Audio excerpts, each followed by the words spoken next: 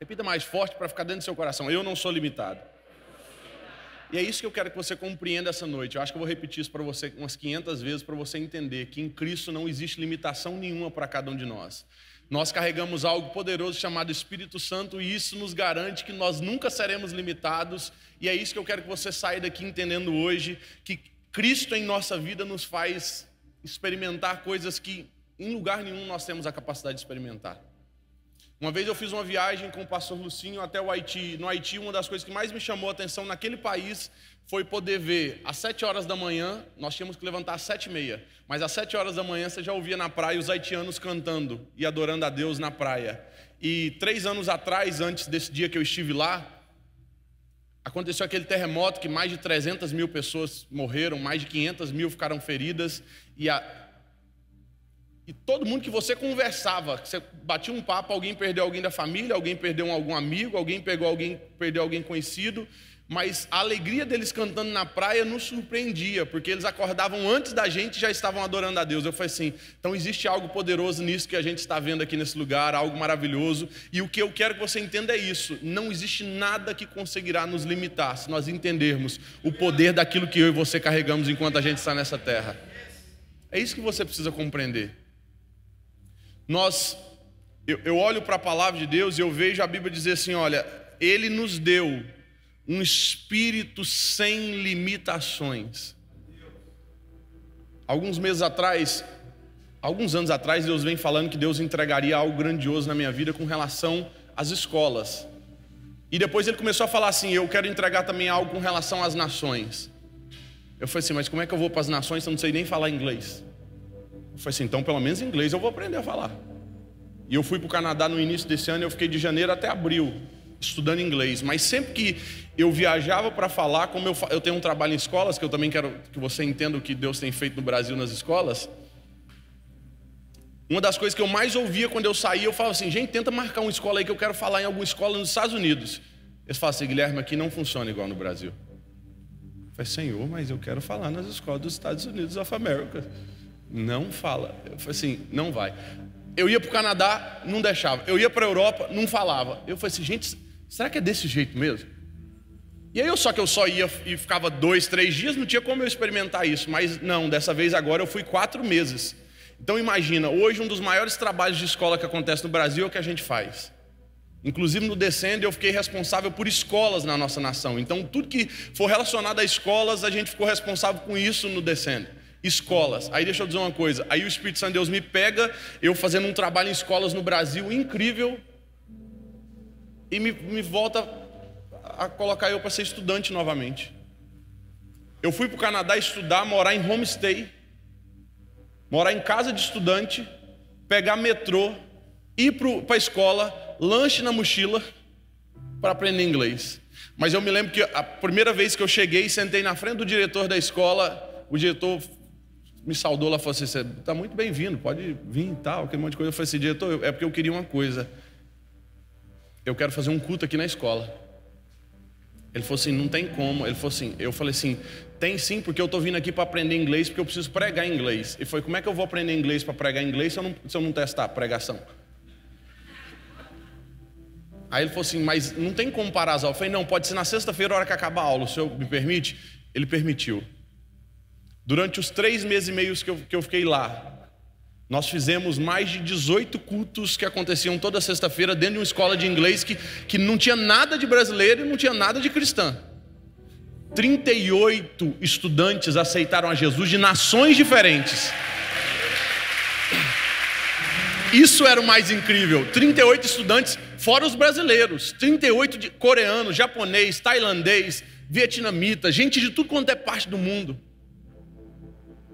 E o Espírito Santo de Deus estava me mostrando assim: nós não somos limitados. Você não é limitado.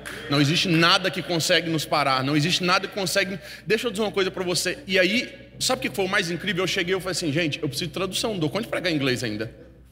Convidei a, a, pastora, falei, pastora, então, aí eles me permitiram um culto com tradução. Porque na porta da escola está dizendo assim: você fala português aqui ou qualquer uma, a sua língua, você já é, é, você recebe um red card, né, um cartão vermelho. Aí eles me permitiram fazer um culto com tradução. Sabe o que foi o mais incrível do culto com tradução? Que ninguém entendeu nada. Por quê? Porque eu falava em português e ninguém entendia, porque era gente de tudo quanto é país. Ela traduzia para o inglês, o povo estava aprendendo inglês ainda também, ninguém entendia.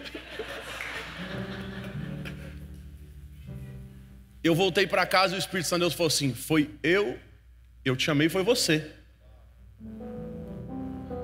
Eu me lembro, gente. Me lembro que foram. Lá era muito frio. Tá frio, inclusive, agora lá. Normalmente é uns menos 30. A minha primeira pregação durou 1 minuto e 38 segundos, porque tem uma filmada no meu celular. Doze pessoas aceitaram Jesus com 1 minuto e 32 segundos. Porque o meu nível de inglês era igualzinho deles. Então o que eu sabia falar, eu ia falando. My friend, Jesus love you. You need to understand this. Jesus love you muito. Faltava palavra, mas as expressões conseguiam passar tudo. Mas eu fiz um teste. Eu falei para Deus, falei, Deus, para me perder a vergonha de falar inglês aqui, eu vou testar o meu inglês todo dia no metrô. Todo dia, toda semana, eu, eu falava bom dia para todo mundo no metrô. E eu postava. Aí eu chegava lá assim, meus amigos ficavam tudo vergonha comigo, porque a menina que ia comigo não era evangélica. Mas eu falava assim, mas tu vai pelo menos filmar. E eu chegava no metrô primeira semana. Good morning, my friend. Eu só sabia isso, então era a primeira coisa. Segunda semana, good morning, my friend. Have a best day of your life. Yeah. Só que eu dei rata na primeira semana, por quê? Porque tem uma mulherzinha que fala no metrô, né? Next station, Eglinton Station. Doors will open on the left. Quando ela falava isso, eu tinha 12 segundos para a porta abrir. Só que eu falei antes dela, então eu falei e fiquei lá, tipo assim, ficou aquela coisa mais sem graça do mundo. Tipo assim, você precisa falar e sair para povo falar assim, rapaz, mas que coisa top isso aí que aconteceu, né? Mas não aconteceu isso. Aí na terceira semana, Good morning, my friends. Have a best day of our life. Our life is very precious for Jesus. Quarta semana. Good morning, my friend. Have a best day of our life. Our life is very precious for Jesus. Jesus loves you so much. You understand this? Ah, e aí foi. E a gente foi gastando inglês. Eu me lembro que na última semana eu vivi para ver isso. Perguntei: You want to accept Jesus? Uma senhorinha aceitou a Jesus lá no fundo. Uma senhora de uns 42 anos de idade, eu fui lá nela e eu abracei ela. A hora que eu abracei.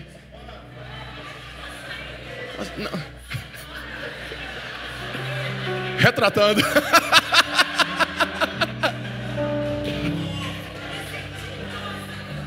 Finge que eu não falei, gente. 62 anos de idade, assim, ó. Aquela jovem moça de 42 anos de idade estava lá.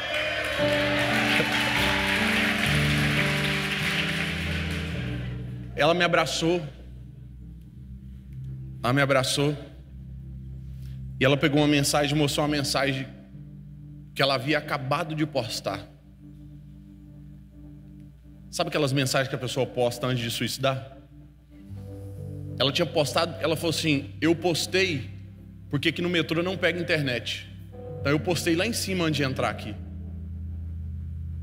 Nos abraçou e chorou muito ali naquele lugar. Eu orei por ela e eu falei assim: uma pessoa só aceitou a Jesus dentro do metrô durante esses três meses e meio. Mas o Espírito Santo de Deus queria nos ensinar algo fantástico. Meu inglês não era o melhor. Meu inglês nem bom era. Mas Deus quis me mostrar que gente não precisa do inglês bom. A gente precisa querer. Porque não há limitação. Não existe nada que consegue nos impedir, nada que consegue nos impedir de viver algo extraordinário. Eu sempre tive fé de verdade de que eu viveria algo extraordinário nessa vida. De verdade, a pessoa que eu mais fui fã na vida, assim, que eu comecei sendo fã, foi do André. Rapaz, me tirei foto de Michael André, acho que se eu somar as fotos, tudo. E eu já experimentei, eu falei assim, gente, olha isso aí, que incrível. Um dia eu quero viver isso na minha vida. Mas eu não sonhava em ser famoso, eu sonhava em poder ser referência, em poder ser. Porque as pessoas já sonham em ser famoso, só o povo ficar tirando foto. Não. Eu falei assim, gente, eu, eu, quero, eu, eu quero viver isso aí, eu quero poder alguém dizer assim: você mudou a minha vida, você transformou a minha história. Eu vi as pessoas chegando às vezes assim no André e em algumas outras pessoas chegam e falam assim: aquela canção sua foi uma canção que me tocou no dia mais difícil da minha vida. Eu falei assim, gente do céu, isso deve ser a coisa mais incrível que tem no mundo. Alguém dizer que teve a vida transformada pela sua. E hoje, agora, eu comecei a experimentar algo grandioso. As pessoas diziam para mim, falavam assim: não se pode falar de Cristo dentro das escolas. Um dia eu recebi um convite para falar dentro de uma escola. Eu entrei dentro daquela escola a mesma mensagem que eu pregava no altar foi uma que eu preguei lá. Só que a diferença foi que na hora que eu perguntei assim: alguém aqui quer entregar a vida a Cristo? Era na parte da manhã, 178 estudantes levantaram e vieram à frente, dobrar o joelho e aceitar Jesus. Eu fiquei olhando para aquela cena e falei assim: o que, que é isso aqui que está acontecendo? Eu tinha que voltar à tarde. Porque tinha o turno da tarde, a hora que eu voltei à tarde, mais 145 aceitaram a Jesus. Eu fiquei assim, tem algo de errado aqui. Eu voltei à noite, tinham poucos alunos, 50, 38 aceitaram a Jesus. Eu voltei e sentei na minha cama no meu quarto e eu falei assim: mais de 300 pessoas aceitaram a Jesus hoje. Mais do que a minha vida inteira. Tem algo diferente nisso aqui que eu estou vendo. Me disseram que não poderia entrar nas escolas Antes de eu vir para cá, eu fiz a última escola, eu acho que consigo fazer esse ano. Nós já ultrapassamos 96 mil estudantes que aceitaram Jesus em três anos dentro de escolas. Dentro de escolas, o Espírito Santo de Deus tem feito algo extraordinário. Estudantes dobrando joelhos. Eu tenho vivido para experimentar coisas tão grandes, gente. Um dia eu estou falando numa escola, de repente, o diretor passou assim nas minhas costas e falou assim: um dos professores ligou para a polícia. Quando de repente a polícia aponta lá na porta. E eles vêm andando no corredor. Mas pensa numa escola que só tinha bandido, mano. Sabe que as malas? Era aquela escola que eu estava falando. Enquanto os policiais estavam vindo, tinha um rapaz assim na frente. Eu falei: Ei, rapaz, fica de pé. Deixa eu dizer. Você sabe o que você está se parecendo? E comecei a falar assim: Deus vai mudar a sua história. Deus vai fazer algo incrível na sua vida, Ele vai fazer na sua e da cada um dos seus amigos que estão aqui. E eu fui profetizando sobre a vida dele enquanto os policiais estão vindo. Já que está lascado mesmo, já vou lascar com tudo aqui, do jeito que está aqui. A hora que eu terminei de falar, eu falei assim: se alguém quiser sair do seu lugar e entregar a sua vida a Cristo, vem aqui à frente. No pátio que devia ter umas 170 pessoas, uns 155 vieram à frente dobrando o joelho aceitar Jesus. Enquanto eu estava orando por eles, a hora que eu levantei a cabeça, cadê os policiais? A hora que terminou, o diretor estava sentado. Eu falei, diretor, e os policiais? Ele falou assim: os dois estão lá na minha sala chorando.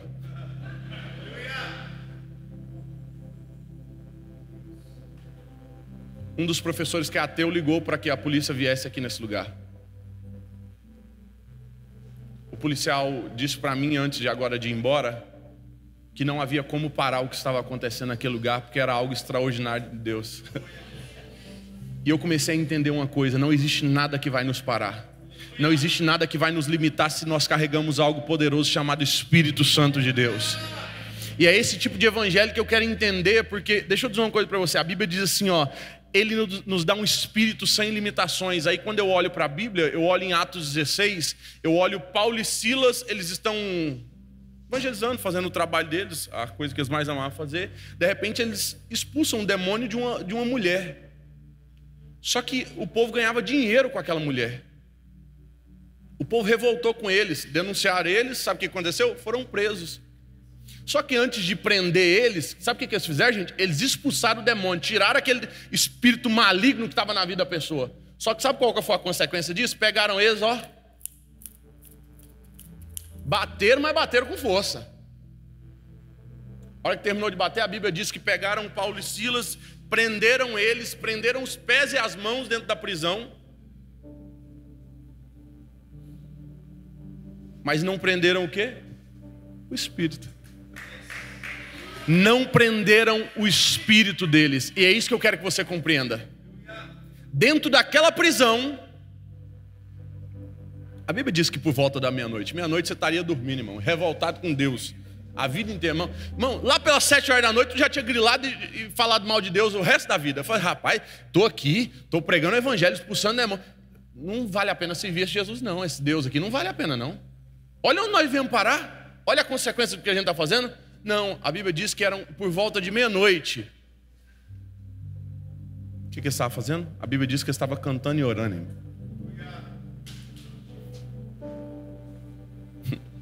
Será que canção eles estavam cantando?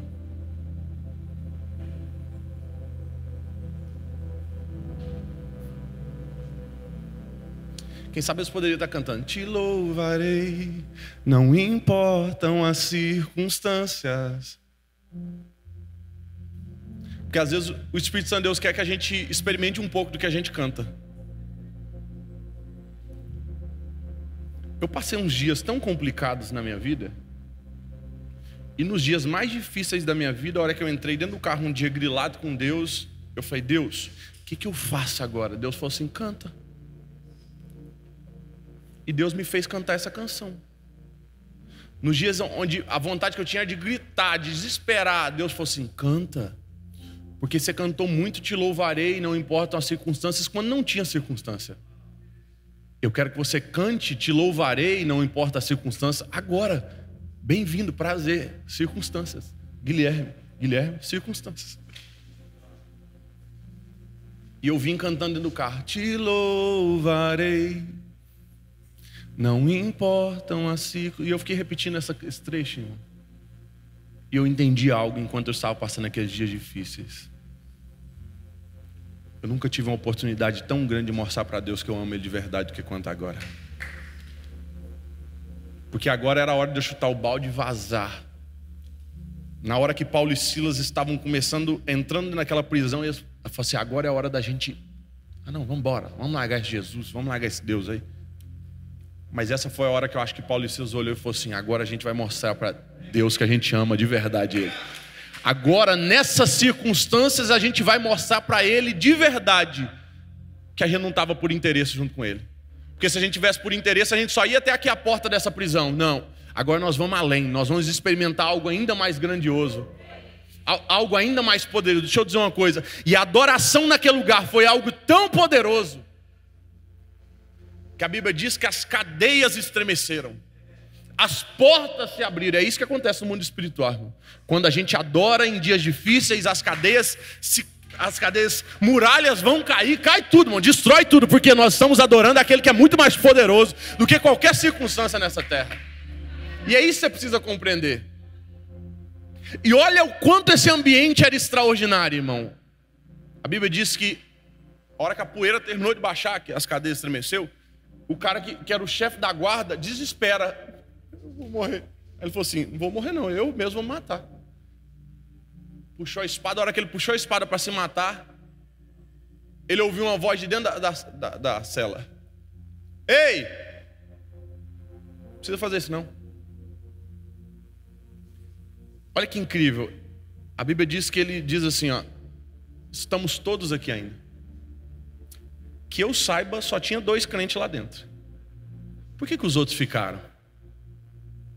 O ambiente era extraordinário demais, irmão. Só, só com um ambiente onde a presença de Deus está para alguém preferir ficar dentro da prisão.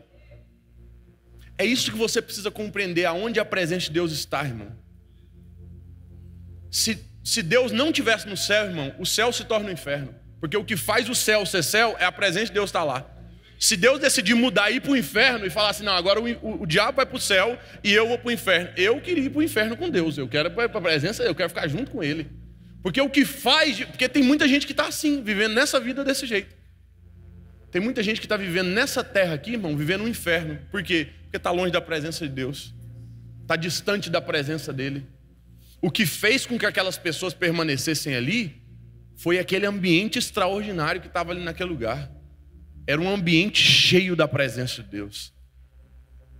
E para que, tudo isso aconteceu? Por uma coisa. Só aconteceu para que houvesse salvação. A Bíblia diz que aquele rapaz que puxou a espada para se matar, tanto ele foi salvo quanto a família dele inteira.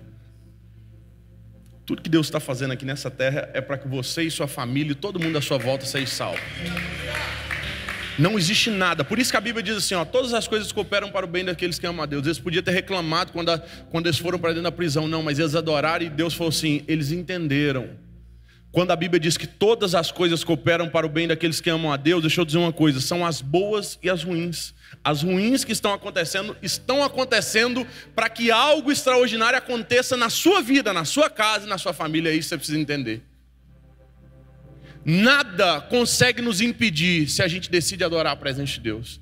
No Canadá disseram para mim: não se prega em metrô, não se faz culto de praça, não se faz. Eu fiz culto de praça, eu preguei em metrô, eu fiz culto escola, só para poder dizer para cada um deles assim: nós podemos sim, nós podemos. Então deixa eu dizer uma coisa para você: se estão dizendo para você que aqui em Orlando você não pode pregar em alguns lugares, deixa eu dizer uma coisa: se você carregar o poder do Espírito Santo de Deus, você pode pregar onde você quiser, porque quem garante isso é a presença do Espírito Santo de Deus. Então vá cheio da presença de Deus e pode ter certeza: rapaz, mas eu vou perder o meu visto aqui, eu vou ser deportado.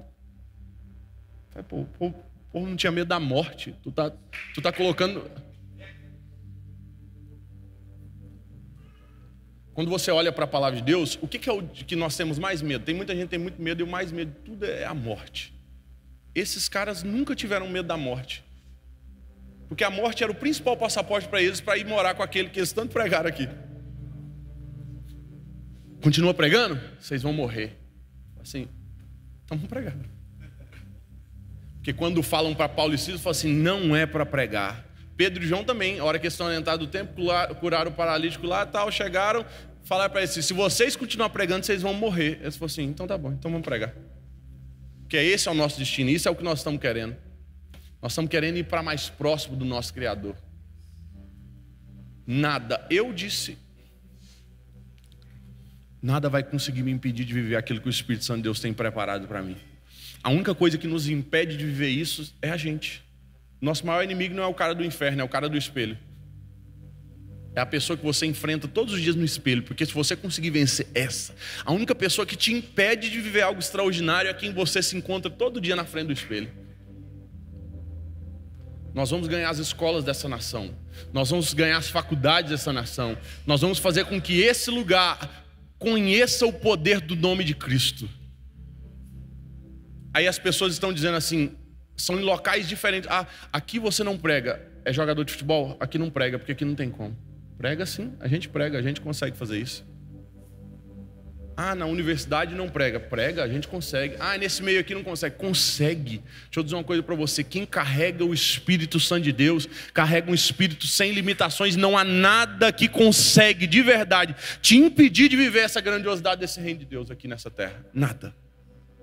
Isso você precisa voltar para casa sabendo hoje. Você não é limitado. Você não tem limitação nenhuma se você carrega algo poderoso chamado Espírito Santo de Deus. É isso que você precisa entender. É isso que você precisa compreender. Estamos chegando agora só em escolas a mais quase 100 mil alunos se entregando a Cristo. Em missões, quase 30 mil pessoas entregando a Cristo em trabalhos de evangelismo e missões no sertão em lugares carentes. O Espírito Santo de Deus tem usado o Playboy aqui, sabe? Que só come sucrilhos e danoninho.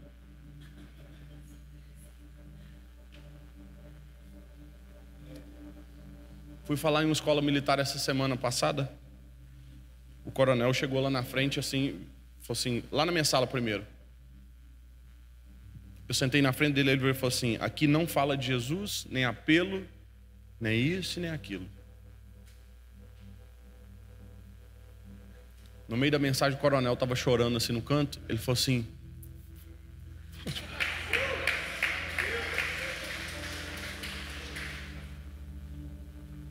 Aquele coronel e, e o pessoal estava fazendo um seminário meu para conseguir falar em escolas. Aquele coronel chegou no final assim com uma folha e falou assim: Nós queremos conferir ao senhor Guilherme a gratidão e honra por trazer palavras tão transformadoras para a nossa escola. E naquela escola eu falei de Cristo, naquela escola teve apelo, naquela escola houve transformação, porque ninguém consegue impedir onde o Espírito Santo de Deus está, irmão. Ninguém. Se você carregar o Espírito Santo de Deus, o seu trabalho vai conhecer a presença de Deus. Eu amo ganhar Uber para Jesus, irmão. A maioria dos Uber é desviado. Principalmente no Brasil. Mano, todo Uber que você entra, sentou, começou a falar, é desviado. Rapaz, não, esse está crente. Não, mas tem alguém na família dele que precisa de Jesus. Me lembro que eu fui em São Francisco, na Califórnia, a hora que eu sentei, eu entrei no Uber, a hora que eu sentei, o cara, buenas tardes. Eu falei assim, e é espanhol. Aí não dá para pregar espanhol, não. Aí eu tô lá assim de boa, assim sentado, eu falei assim, Senhor, eu queria tanto pregar aqui, mas não dá, né? Esse espanhol dele era aqueles mais ruins, da Guatemala, sei lá de onde que era. Nossa, mas que tem difícil. Eu tô lá se assim, sentado de boa, de repente ele, meu amigo, olá? Desde o primeiro momento que tu entrasse acá, eu senti algo diferente entrar em meu carro. Foi meu amigo, isso ser meu amigo Espírito Santo. Eu necessito entender, Espírito Santo quer transformar sua casa, sua filho, sua família, tus ninhos e tu, tu cositas, mas tu necessita entender isso? Eu só lembro que no final vai ser: Eu quero aceitar a Cristo, tu e tu família. Eu lembro que ele chorando do meu lado, ele falou assim: Eu quero. Eu falei assim: oh, Aleluia. Eu orei por ele, irmão. Eu falei assim: Gente, a gente não precisa saber falar nada direito, não. A gente precisa carregar algo diferente, porque foi esse algo diferente que entrou aqui dentro do carro. Esse algo diferente fez com que gerasse transformação. Então é isso que você precisa compreender hoje aqui nesse lugar. Você tem um espírito sem limitações sobre a sua vida. E se não tem, decida sair daquela porta para fora carregando isso, porque é isso que vai gerar transformação nas pessoas. É isso que vai gerar transformação. Um dia um amigo meu famoso, ele é cantor sertanejo. Ele me convidou para o aniversário dele. Ele falou assim: Guilherme, eu queria que você viesse no meu aniversário. Eu falei assim: aniversário famoso, né? Eu vou. Só que eu nunca tinha pisado numa boate, né? Aí eu mandei uma mensagem, falei, onde vai ser? Ele falou assim, boate Vila Mix. Aí eu quis ser crente, né? Aí eu falei assim, não vou porque eu disse para Deus que eu nunca pisaria numa boate. Ele me respondeu de jeito, que ele é filho de pastor desviado. Ele mandou assim, eu acho que se eu tivesse convidado Jesus, ele viria.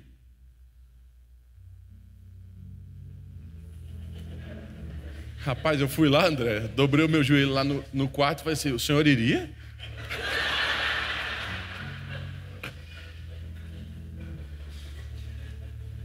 Ele não respondeu. Eu falei assim: deve ir. Peguei a mensagem e falei assim: eu vou, mas só se você me der 10 minutos para orar por você e fazer a palavra de gratidão a Deus pela sua vida lá. Aí ele mandou assim: agora deixa eu pensar. Passou um pouquinho, ele liberou. E lá foi eu para uma boate. Minha Bíblia.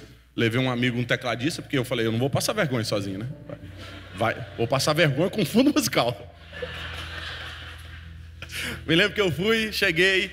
A hora que eu cheguei na porta da recepção, a moça falou assim: Pois não? Eu falei assim: é, Tudo bem? Ela falou assim: Seu nome? Eu falei assim: Guilherme. Guilherme Batista. Aí ela: Guilherme Batista, Guilherme Batista. Você que é o pastor?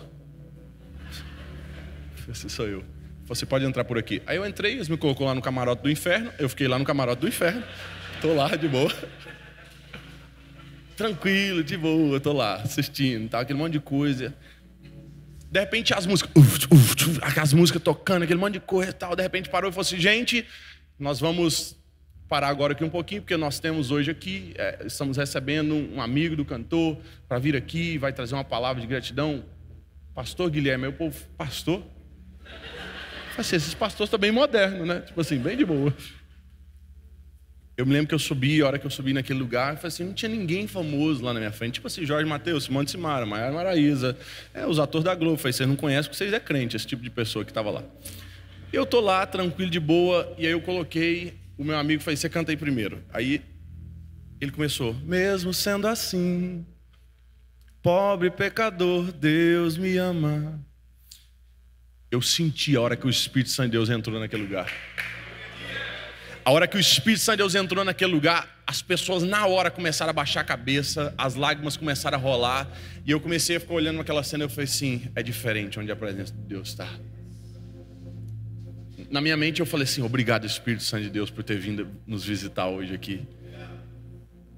Eu me lembro que enquanto eu ministrava, as pessoas choravam e algumas pessoas, as lágrimas descendo, eu falei assim: é totalmente diferente onde a presença de Deus está. Eu terminei orando por ele de joelhos dobrados e eu disse para ele: assim, os seus dias aqui estão contados porque eu acredito que Deus tem algo extraordinário para fazer na sua vida. A hora que eu saí pela porta que eu estava saindo, eu disse para Deus: eu falei assim, eu disse para o Senhor que eu nunca pisaria na boate, né? Ele falou: se você não pisa, até se eu mandar você ir lá e pisar. E eu comecei a entender que aonde Deus nos mandar ir, irmão, vá. Se for em boate, se for em prostíbulo, que seja onde for, se foi ele que te mandou. Agora não invente de pisar, se não foi ele que te mandou, não, tá? Porque se não foi ele que te mandou, tu vai colher consequência demais e bem grande. Porque tem muita gente que olha e fala assim: olha que lindo que o fulano de tal está fazendo. Foi assim, que lá foi Deus que mandou o fulano de tal. Agora, se Deus te mandou, irmão, vai em paz. Vai tranquilo. Deus está fazendo algo extraordinário no nosso meio e aonde Ele mandar, vai. Porque ele, ele, é Ele quem nos dá esse espírito.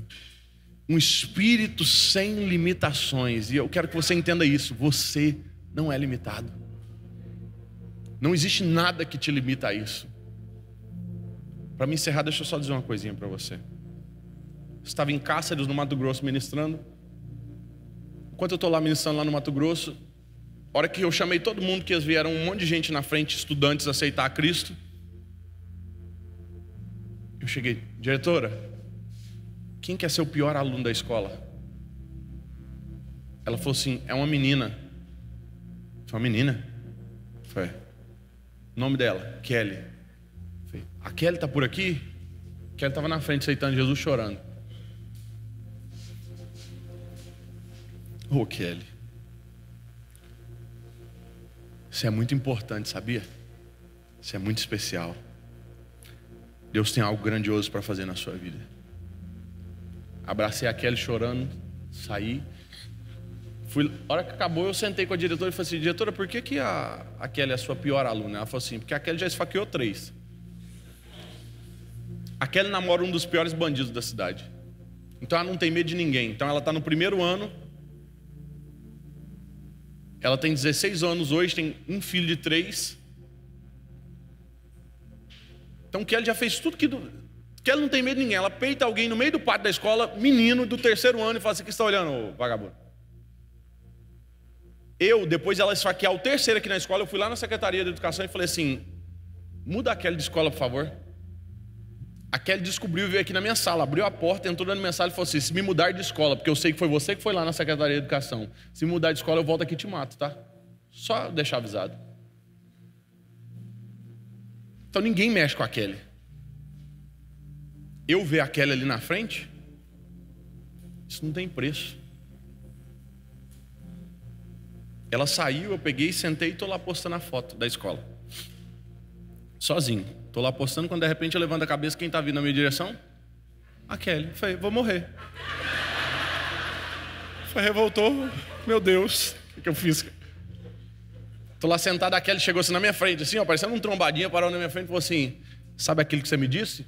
Eu falei, o que, que eu disse, meu Deus? Agora Deus. Ela falou assim: Sabia que ninguém nunca disse que eu sou importante?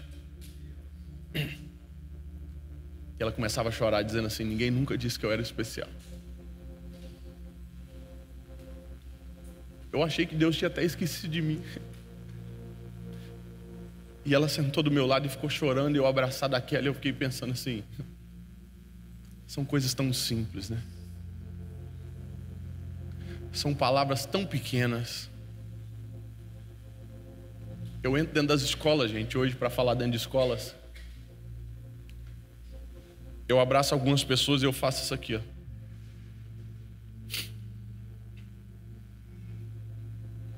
Isso é um cronômetro.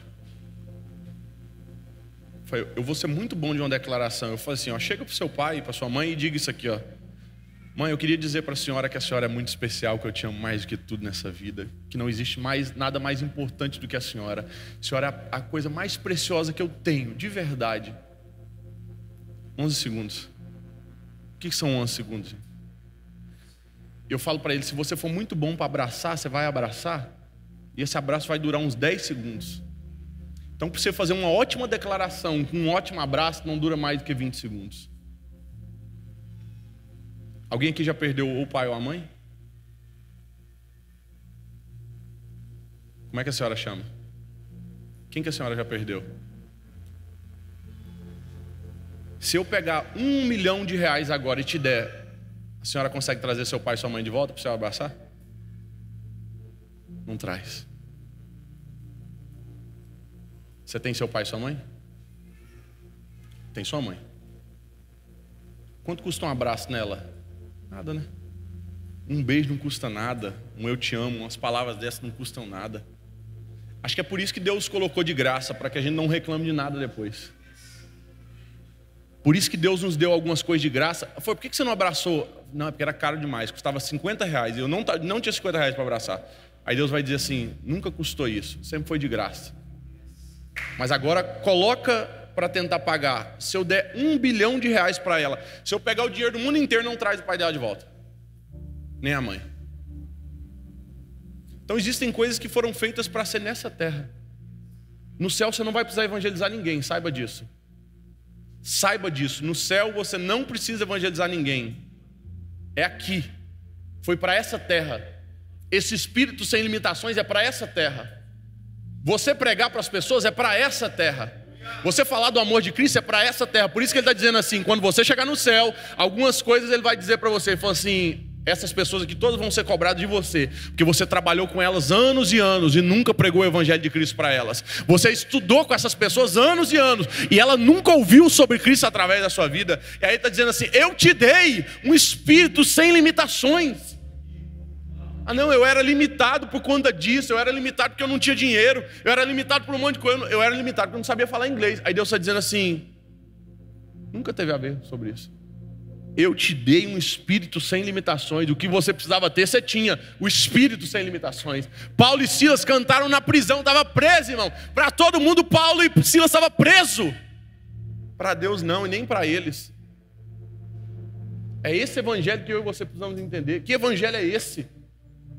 Isso que me revolta, que evangelho é esse que esses homens viveram ao ponto de irem até as últimas circunstâncias por conta de Cristo? Esse encontro de Paulo foi tão extraordinário, irmão, que a hora que ele caiu prostrado em terra, daquele dia em diante, esse nome Jesus continuou ecoando na vida dele a vida toda. É isso que nós precisamos ter. Você não tem desculpa. Estou trabalhando demais. Pare para pensar se essa vai ser uma boa desculpa para você dar na hora que você chegar lá no céu. Na hora que você passar por Cristo, você vai chegar e falar assim: Senhor, eu não tinha tempo. Senhor, ah, eu era muito corrido, Senhor, isso aqui. Pense se essa vai ser uma boa desculpa a hora que você, der, hora que você chegar lá no céu. Eu imagino que não. O Espírito Santo de Deus me trouxe aqui para que eu pudesse orar por vocês. Para que você pudesse entender o que você carrega. Ou quem sabe o que você pode carregar.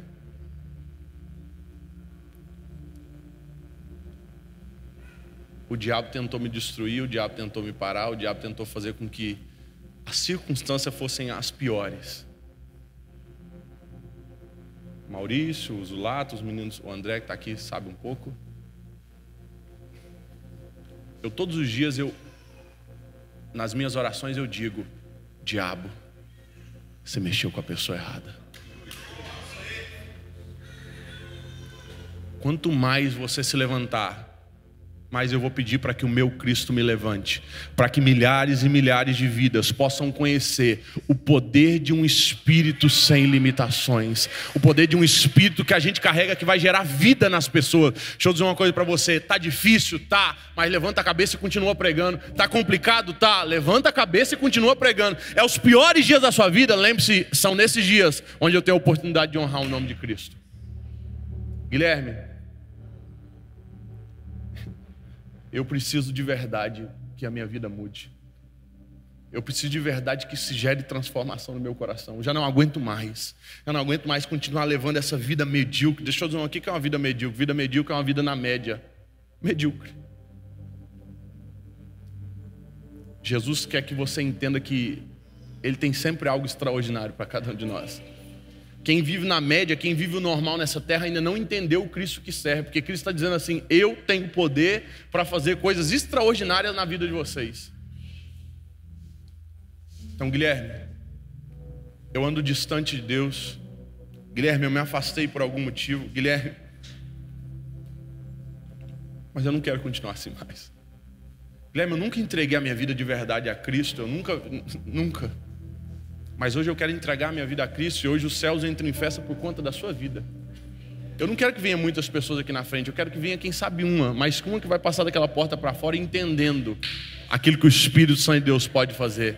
O dia que o Guilherme entendeu e o dia que a gente entender, só precisa dessa fileira entender aqui, ó, essa fileira, essa aqui, ó.